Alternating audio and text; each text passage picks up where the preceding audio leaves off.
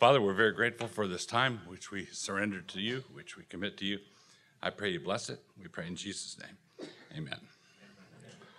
So, I'm going to be speaking about eschatology. As the waters cover the sea is my topic. And I'm going to begin by talking, oh, oh, I want to briefly define eschatology, the word eschatology, and then talk about how it matters to missions, and then get into what the Bible teaches. So, uh, uh, the word eschatology is the study of the last things. It comes from the Greek word for the last, and there are two different kinds of eschatology. Uh, there are there's the field of eschatology that talks about the ultimate final things, heaven, hell, judgment, um, that sort of that's ultimate eschatology, which all conservative um, believing uh, all conservative uh, believing Christians share, and then there would be eschatology, the study of the last things having to do with the last days of human history prior to the second coming of Christ. All right, so prior to the second coming of Christ, and you've got all kinds of uh, positions. Uh, Christians are all over the map when it comes to uh, differing eschatologies. What's going to happen? Is the world going to just go on the way it always has? Is the world going to continue to fall apart? Is it going to get worse and worse and worse? Then the Antichrist will come kicking baby, kicking babies and puppies, and uh, you know, is he going to do awful things, or is it going to get better and better uh, as the uh, as the gospel is proclaimed and the nations are discipled and so on?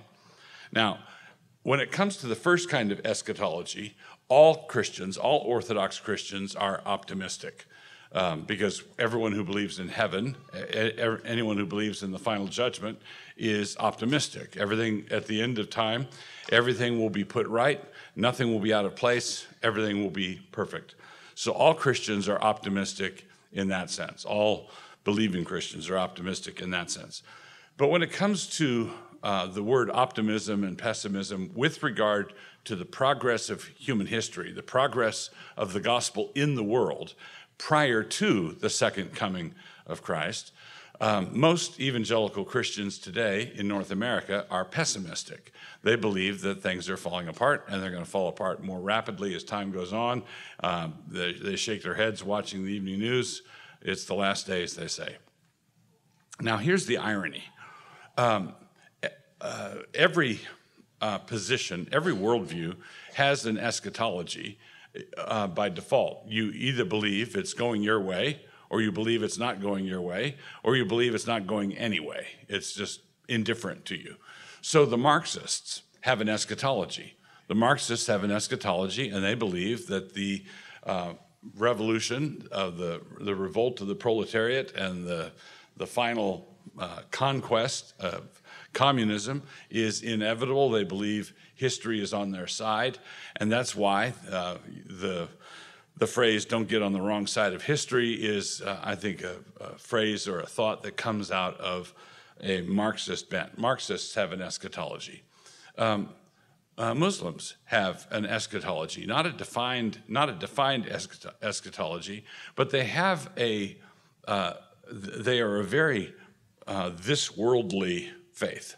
All right, so um, as as we heard uh, last night, they uh, when Islam exploded out of Arabia, the first, um, well, uh, be almost a thousand years of uh, Islamic ascendancy was right in line with what they thought the pleasure of Allah was uh, the, they thought the pleasure of Allah was being showered upon them, bestowed up, upon them, because they had an eschatology of victory. All right, they had an eschatology of victory.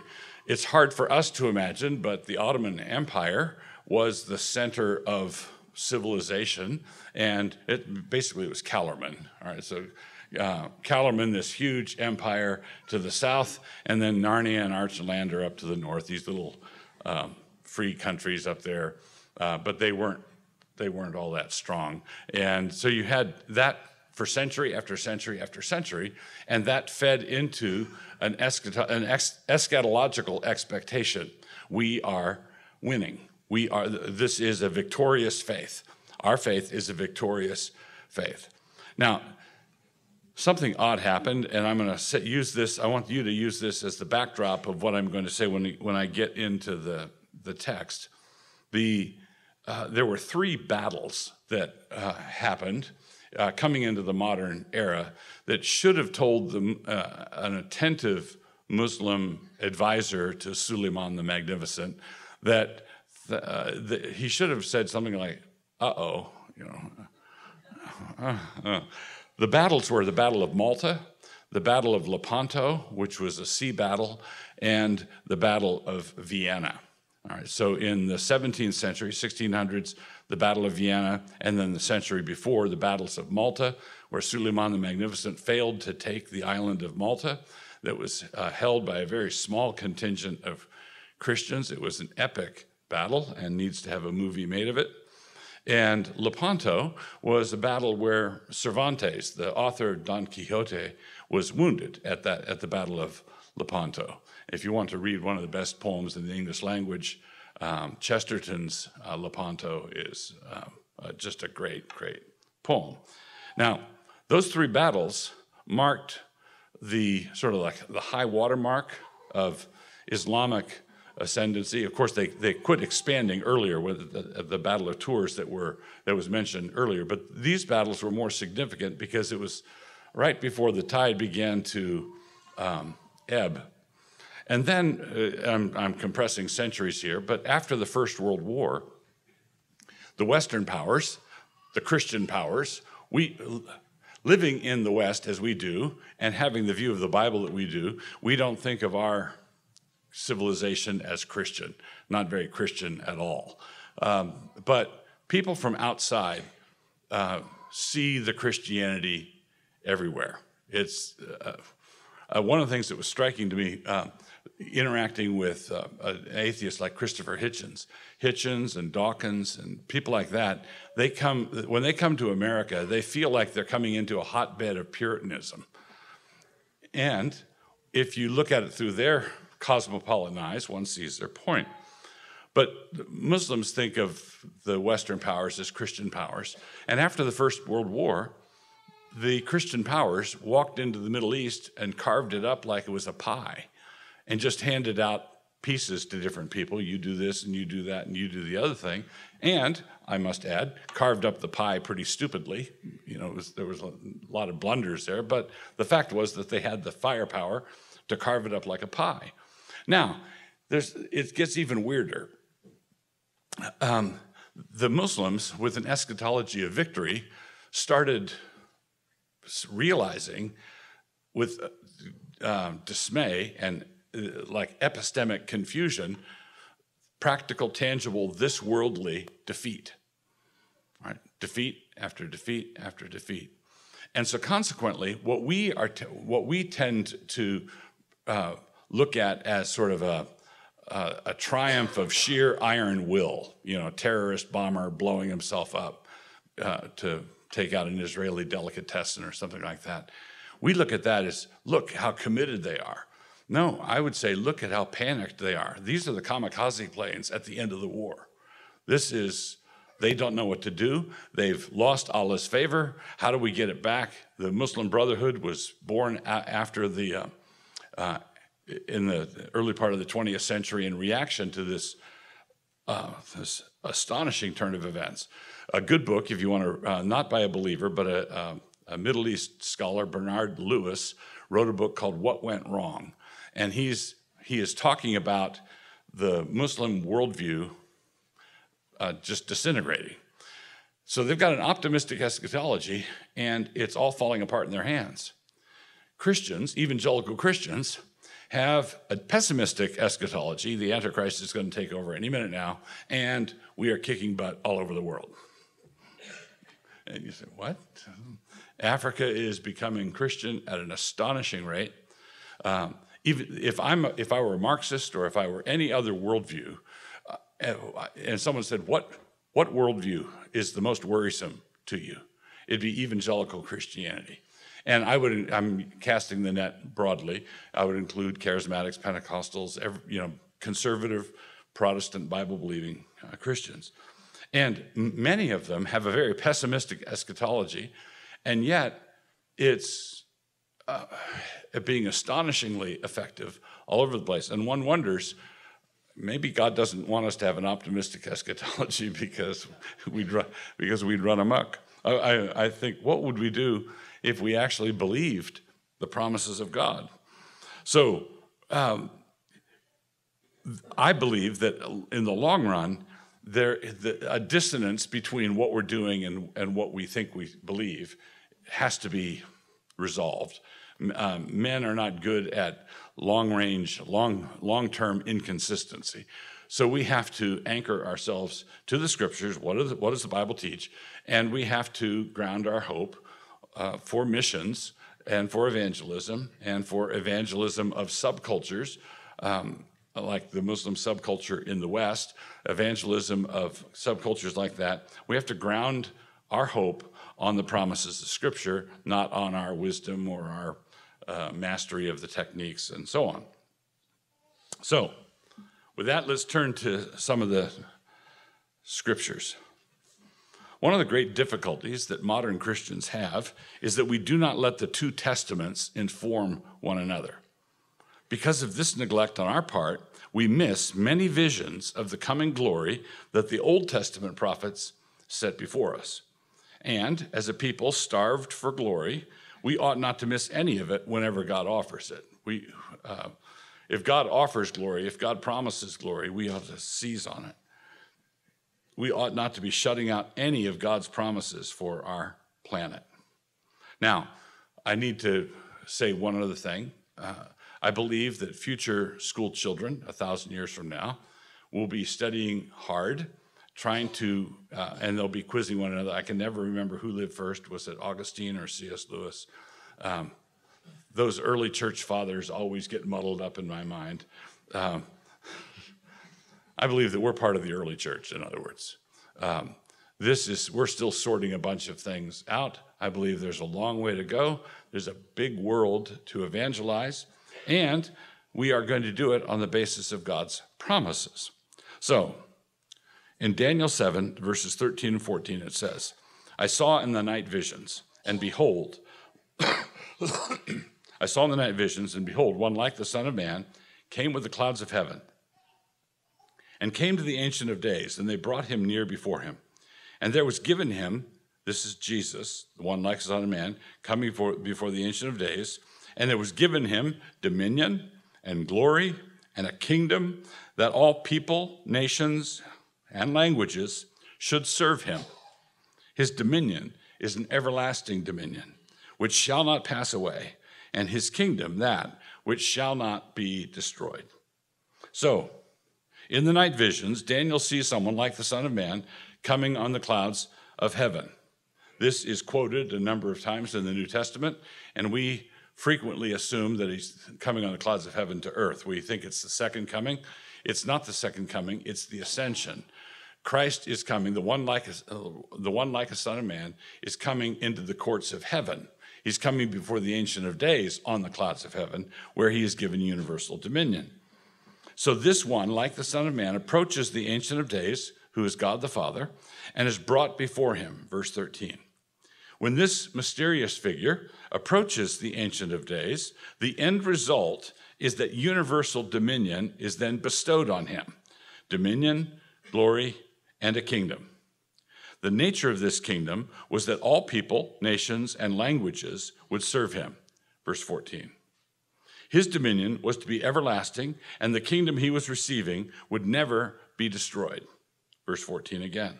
And therefore, preaching the kingdom of God, among other things, means preaching this.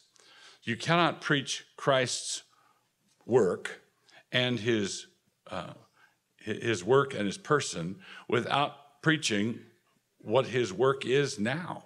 He is the he is Lord. That's this is the fundamental Christian confession. Jesus is Lord.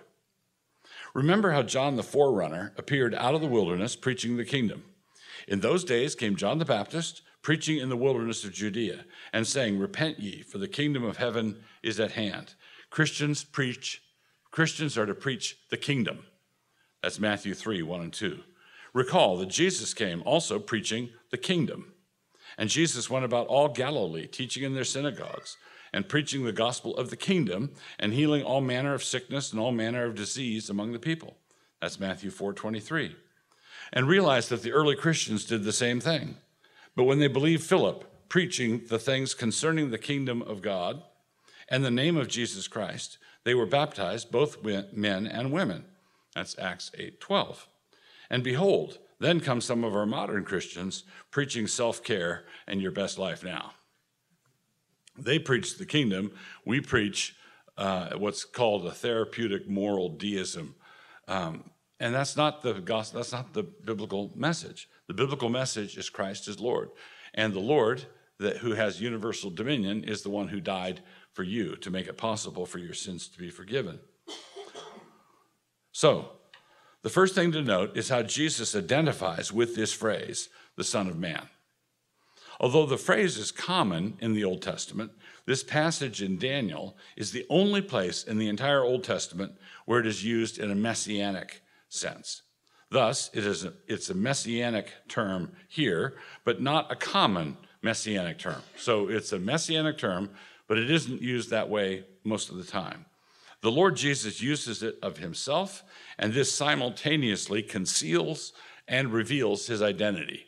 He's using an off the beaten path term from the Old Testament, which is clear enough. It's clearly a messianic term in the one place where it's used, but it's not, it's not overtly messianic. Some common examples would be Mark 2:10, Mark 8:38, Mark 10:33. The Lord Jesus did not want his disciples proclaiming his identity until the time was right. He didn't want a premature proclamation of who he was. After his resurrection and ascension, Romans 1 4, the time was more than right. And so, 2,000 years into it, this reality has to be declared to the rest of the world. So, in Romans 1 4, it says Jesus was declared with power to be the Son of God by his resurrection from the dead. You notice that during his earthly ministry, when uh, the demons say who Jesus is, uh, he tells them to be quiet. Uh, you know, don't don't talk to anybody. When Peter makes his famous confession, he says, "Keep it under your hats. Not yet. Not yet. Not yet." Uh, but after he's raised from the dead, the message is now. Now tell everybody. And you can tell everybody because Jesus has ascended into the uh, before the Ancient of Days and has been given universal dominion.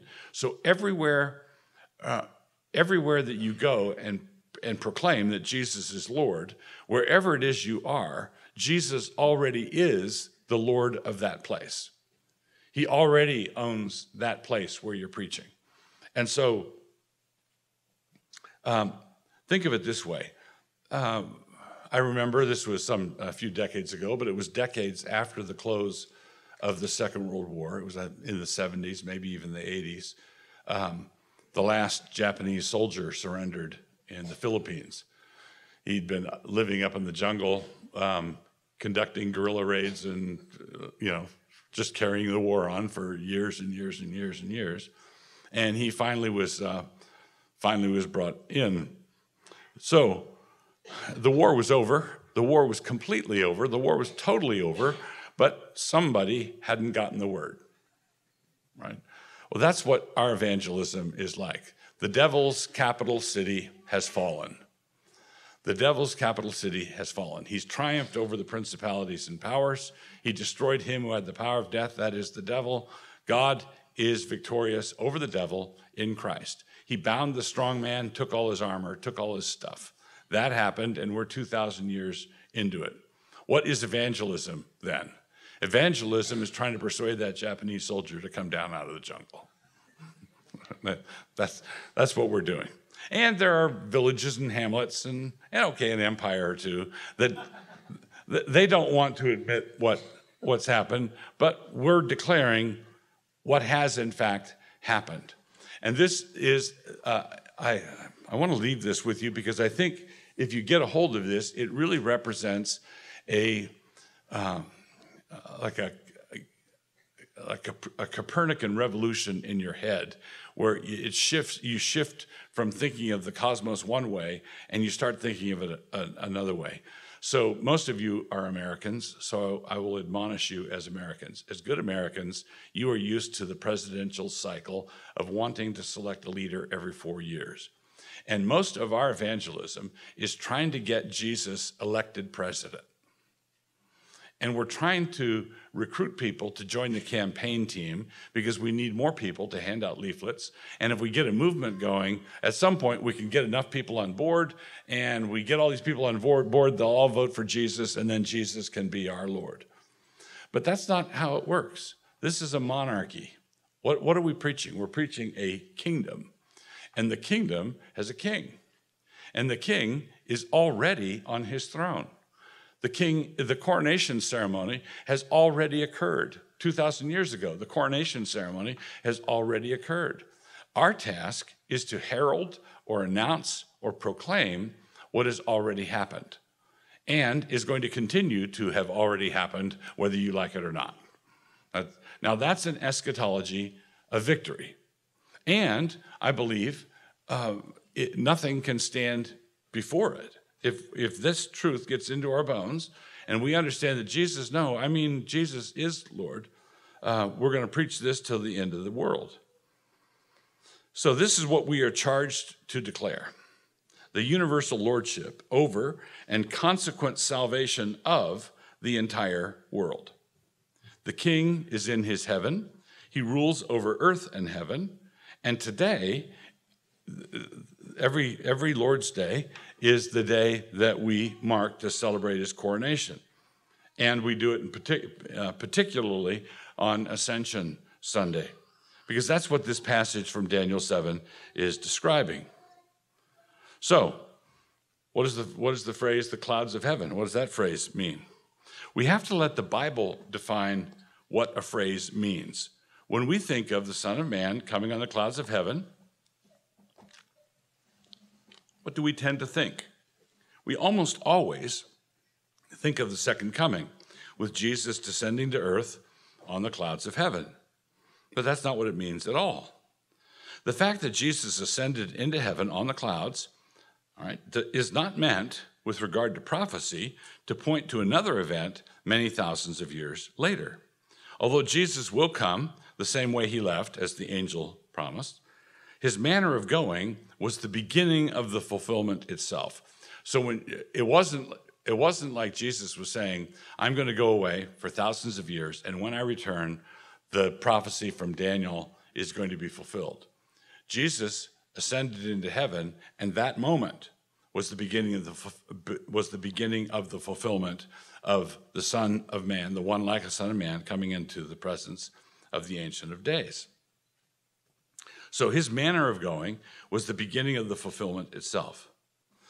And when he had spoken these things, while they beheld, he was taken up, and a cloud received him out of their sight.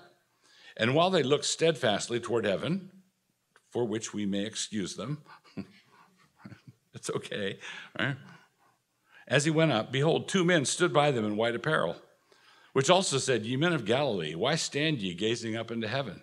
This same Jesus, which is taken up from you into heaven, shall so come in like manner as ye have seen him go into heaven. That's Acts 1 9 through 11. So, Jesus is going to come back the way you saw him go.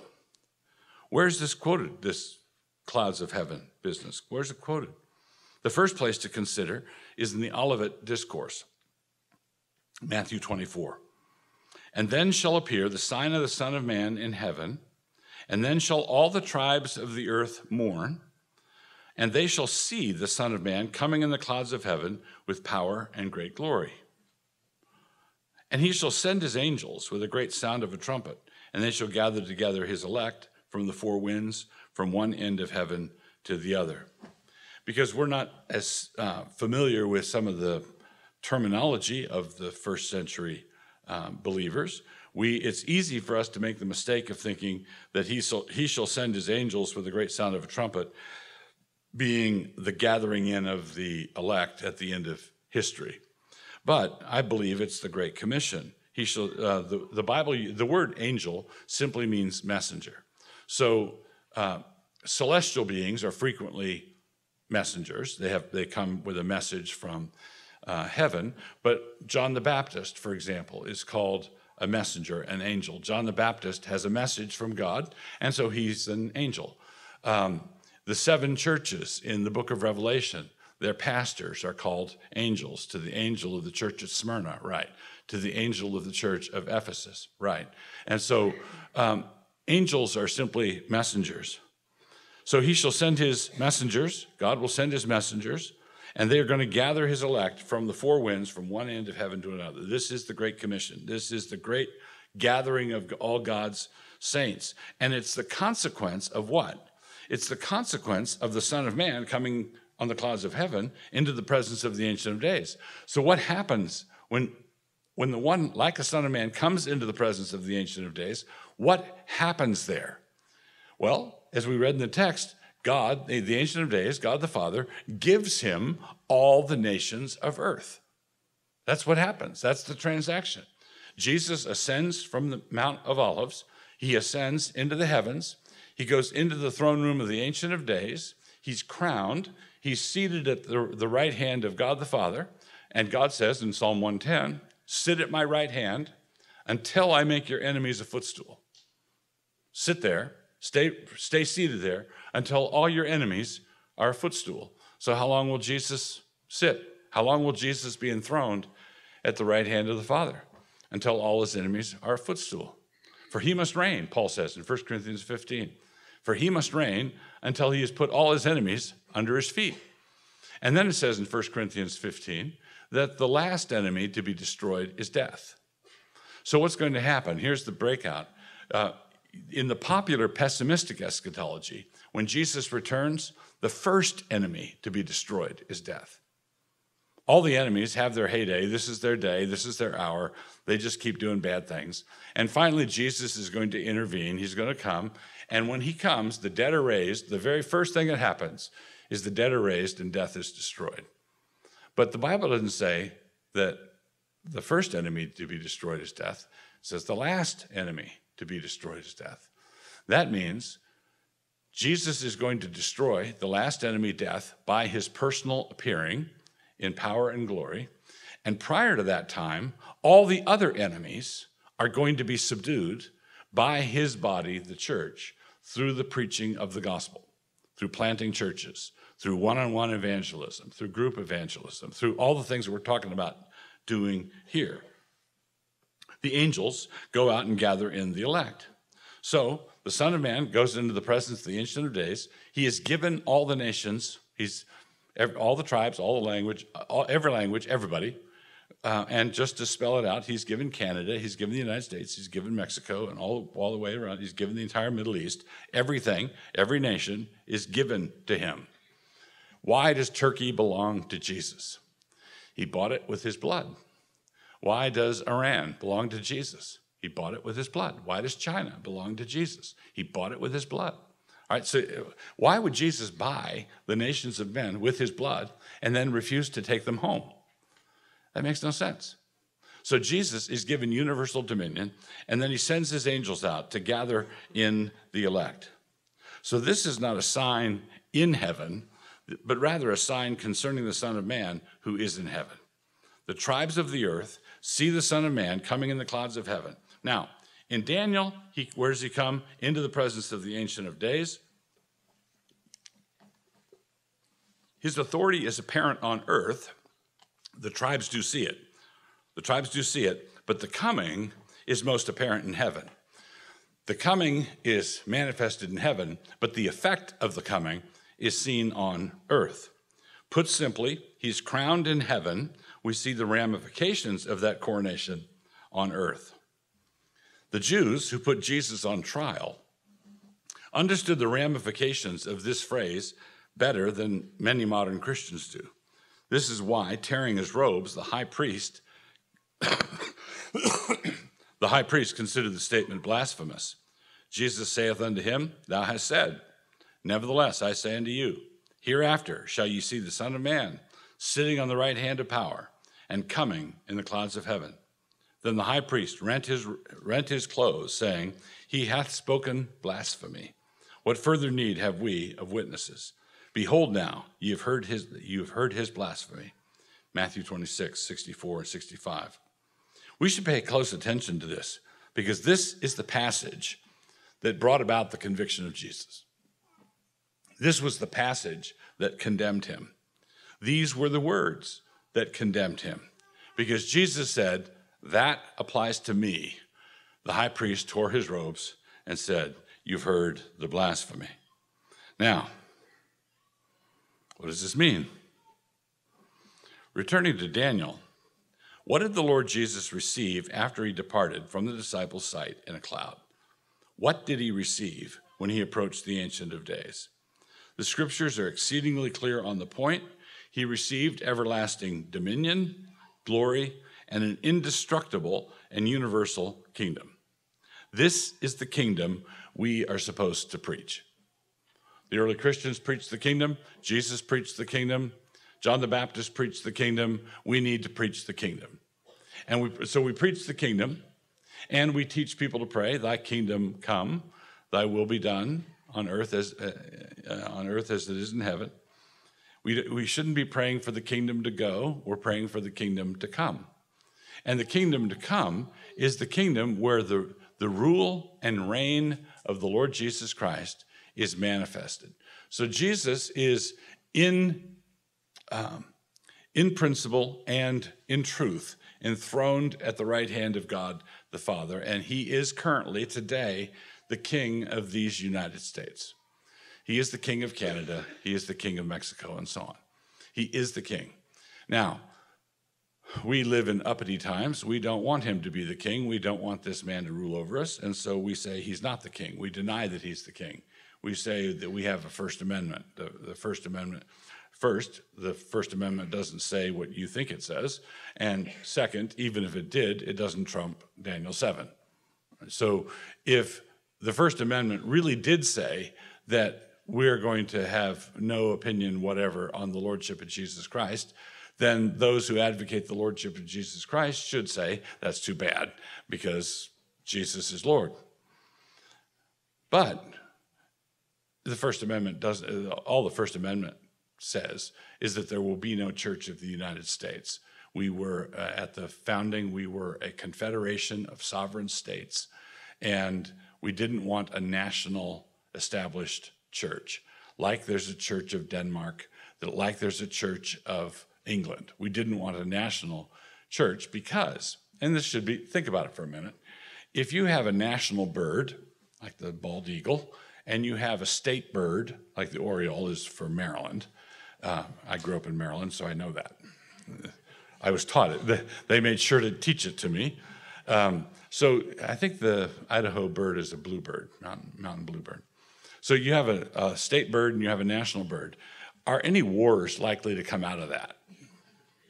Extremely, even given the sinfulness of man, That's, an, that's highly unlikely. If you have a national anthem and you have a state anthem or a national poet laureate and a state level poet laureate, no conflicts are likely to arise out of that. But if you have a national established church and then provincial or state level established churches, what's likely to happen? Immediate conflict. Immediate conflict. And when the Constitution of the United States was adopted in 1789, there were 13 colonies, and nine of the 13 colonies had established state churches. They tax money was paid to the, the state government, and they supported um, the, the whatever in Connecticut it was the Congregational Church, and Connecticut was the last state to get rid of an established state church, and they didn't do that until the 18 30s. Now, I, I'm not saying this because I'm arguing for state level established churches. I don't think established churches are a good idea. I think it's a kiss of death for that, whatever denomination that might be. I don't think it's a good idea. But separation, because, and I also believe that separation of church and state is a biblical ideal. But that's not the same thing as the separation of God and state, or the separation of Christ and state, or the separation of morality and state. Right? Those are different things. I don't want a particular denomination to be funded by taxes. That's, what, that's all I'm saying. But even though I think it's a bad idea to establish a, a, particular Christian denomination at the state level, even though it's a bad idea, it's not an unconstitutional idea. It's not an unconstitutional idea because nine of the 13 colonies that adopted the Constitution had established state churches at the moment they were adopting it. So it's now, if someone says yes, but uh, secular secularism is our current idol, and secularism is the pretense. Secularism is the pretense that neutrality in civic affairs is somehow a possibility.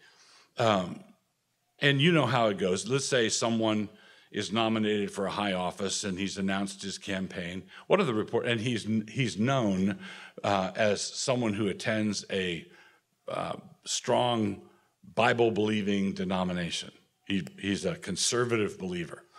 And what question is he going to be asked at the first press conference? He's going to be asked, Can you make a distinction between your faith and the way you're going to discharge your uh, office if you are elected? And you know, you all know the catechism, the appropriate catechism answer, don't you? The appropriate catechism answer is for him to say, and if I'm a secular advisor to this guy, I would teach him, I would instruct him to say, My faith, which is very precious uh, to me, is a personal matter. And I vow that I will in no way allow my faith to dictate anything whatever with regard to my behavior if elected and serve and honored to serve as your representative in Washington D.C. And everybody says, "Okay, all right, you you uh, you you genuflected where you ought to have genuflected. We will we will let it go for now. Now, let's say he gets elected, and six months later, he is pulled over by the cops in Washington D.C. in a red convertible and a couple of prostitutes and hundred thousand dollars in cash in the trunk of the car, along with a couple of bundles of cocaine. Now, I would pay ready money to see the press conference where the senator, Senator Snotwurst, let us call him, um, said You'll remember that six months ago, I solemnly promised the American people that if elected, my faith, which is very precious to me, would not interfere with my behavior while in Washington, D.C. Uh, in the slightest. And I'm here to say I have kept my promise. and, somebody's going to say, wait, uh, uh, you know what we mean. We didn't, we didn't mean for you to be running around with uh, painted ladies. And, you know, we, we want you to be honest and upright and moral, but without Jesus. But you have to understand, people aren't built to be schizophrenic that way. Right? That's just schizoid. That's not how people function. They're going to, they're going to live in line with their functional God. And if Christ is Lord, he's going to be Lord of their life in their official capacity and then their private capacity. Now, I don't, I, be, I do believe in separation of church and state, but I don't believe in the separation of morality and state, and I don't believe in the separation of the ground of morality and state. What's the ground of morality? Christ is Lord. That's the ground of morality. Christ is the very image of the invisible God. So, he is the king. And how, the, how his kingship is going to be mediated in a republic like ours and how it would be mediated in a constitutional monarchy and how it would be mediated in different different nations with different um, political forms is an interesting question but i think it's a question that christian political theorists have to face. How, how do we uh, engage how do we um, plug in the authority of jesus christ into this system? Now if you have an autocratic dictator, dictator uh, autocratic dictatorship, then the authority of Christ doesn't plug into that. That guy's got to go because he thinks he's God. But, and, and this is another way of saying, if Christ is Lord, then limited government is necessary. If Christ is Lord, then Caesar is not. If Christ is Lord, then Caesar is not Lord. So we preach the kingdom of God. And this is why uh, dictators, this is why uh, people who want absolute power are so hostile to the Christian faith because they understand the ramifications of the lordship of Christ better than many Christians do. So, Jesus received the heathen for his inheritance. And he received the uttermost ends of the earth for his possession, as it says in Psalm 2:8. He received the worship of all the families on earth and the remembrance of all the ends of the world. Psalm 22, 27. He will receive all men as they stream to him, the ensign of Jesse. That's Isaiah 11, 10. And his rest shall be glorious. The earth will be as the earth will be as full of the knowledge of the Lord Jesus as the Pacific Ocean is wet. Isaiah 11, 9. The earth will be as full of the knowledge of the Lord as the Pacific Ocean is wet. The world will be evangelized.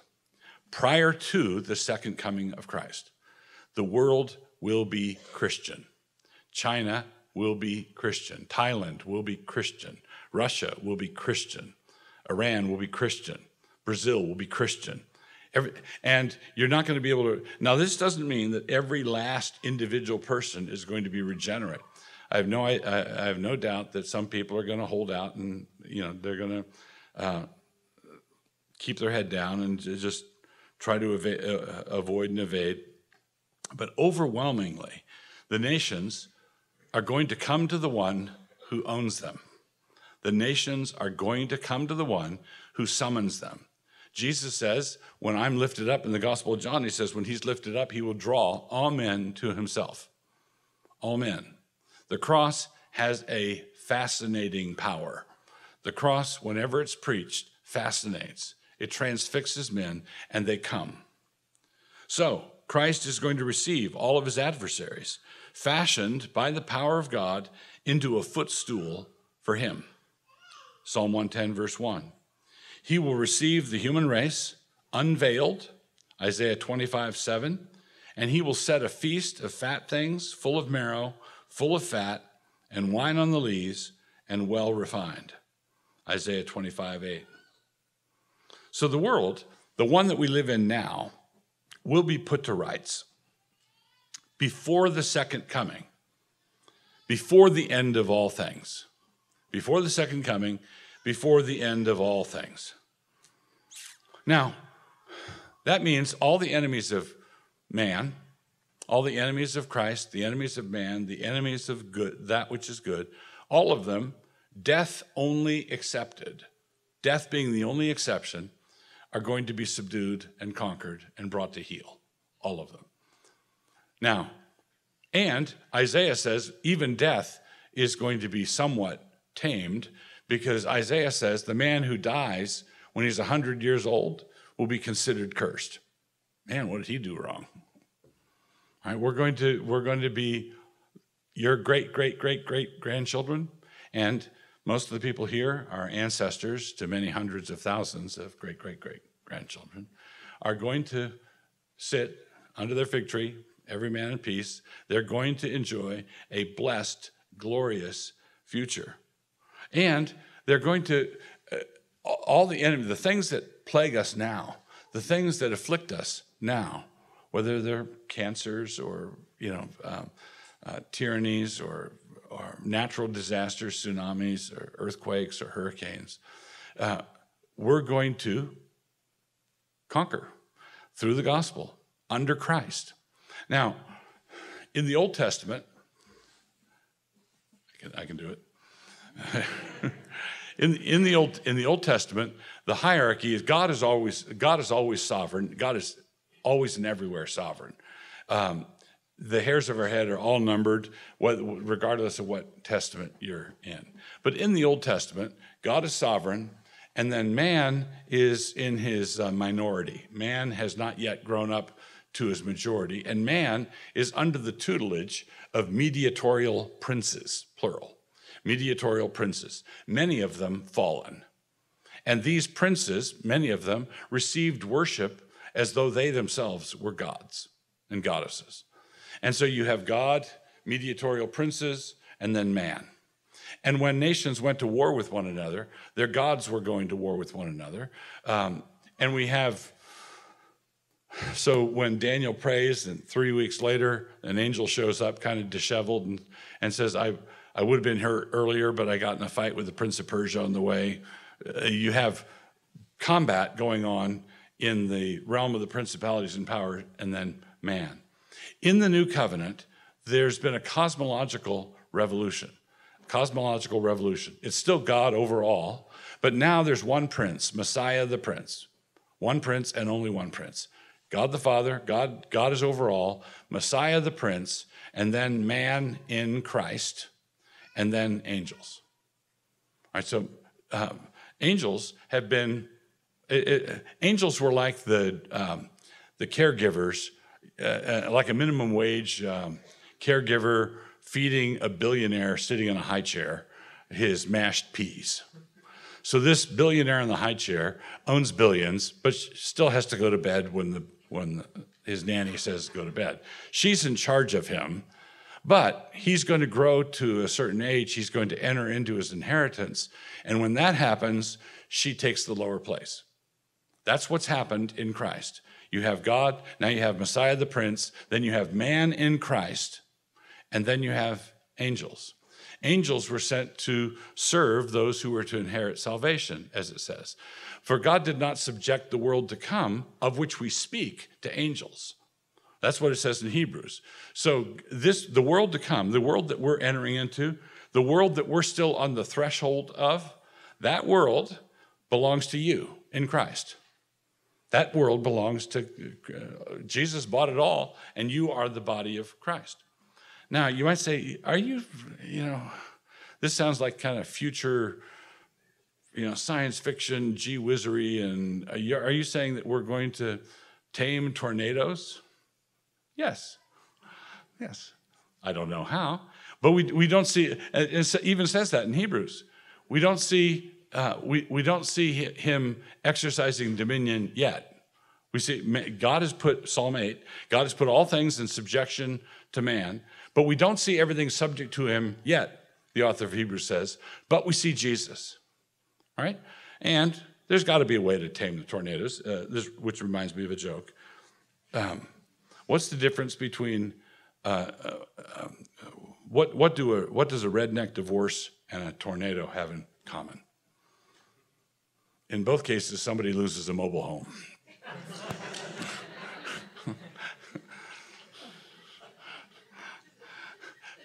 Do tornadoes know what they're doing? Yes, they always attack mobile home parks. they're just going over Kansas looking for a touchdown. Why is it always? It's never. I I digress. Do I believe? But do I believe that man in Christ has a glorious future? Yeah, and our task of evangelism is recruiting people from all over the world to come join the choir, to, jump, to come join the, the workforce, to, to come join the, the army. So, the only enemy not destroyed through the advance of the gospel will be death itself. 1 Corinthians 15 26. And even that enemy will be in a confused retreat. Isaiah 65 20, where the man who dies when he's 100. Uh, so notice in this era, people still die. Death is still a possibility. People still die, but it's really beaten back. The ramifications of this are many, but one of the things it means is that your labor in the Lord is not in vain. Your labor in the Lord is not in vain. So return to your labors encouraged. You know your weaknesses, that's true enough, but now hear the words of your God. Ours, we have weaknesses, we have many weaknesses, but ours are invincible weaknesses because one like a son of man has entered into the throne room of the heavens. His name is the Lord Jesus Christ. This is why the laughter of the saints needs to be deep and full and rich and absolutely filled with faith. One throne stands absolutely secure. One throne is untouchable by any political upheavals here. One throne cannot be reached with a stupid referendum. One throne cannot be touched, and that's the throne of the Lord Jesus Christ. And you are his servants, you are his body, you are the extension of Christ's presence in the world. Father, we thank you for your kindness to us. We thank you for all the things you've given to us. We thank you in the name of Jesus. and amen.